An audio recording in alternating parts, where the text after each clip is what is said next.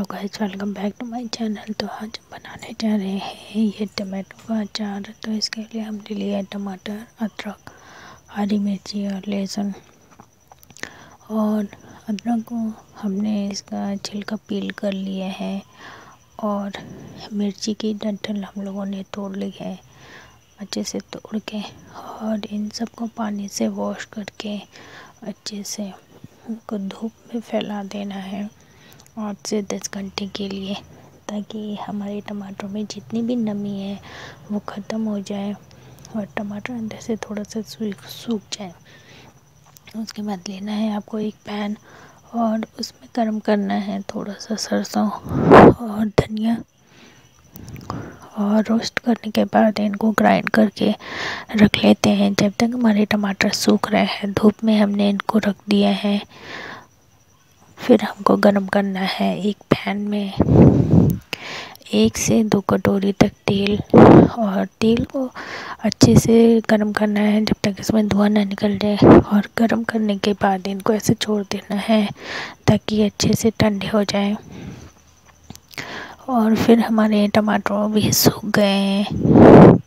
तो इनको जो है अच्छे से काट लेते हैं। आप इनको चाहे तो फोर पीसेस में कट सक, कट कर सकते हैं या अगर आपको छोटी चाहिए तो और इनको कट कर ले।